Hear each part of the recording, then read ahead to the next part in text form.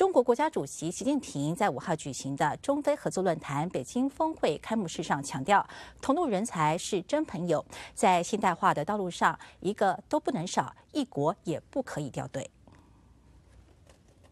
今年七月，中国共产党二十届三中全会成功召开，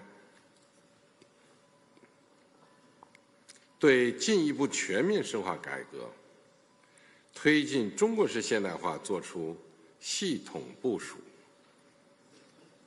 这将进一步深刻改变中国。也必将为非洲国家、为中非共筑现代化之梦提供新机遇，注入新动能。非洲有句言语：“同路人才是真朋友。”现代化道路上，一个都不能少，一国都不能掉队。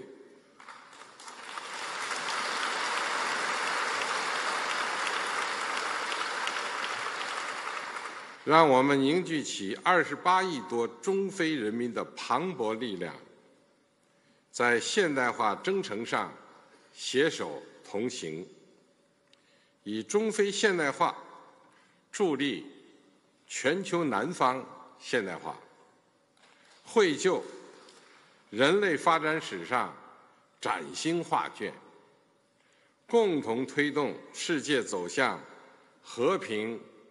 安全、繁荣、进步的光明前景。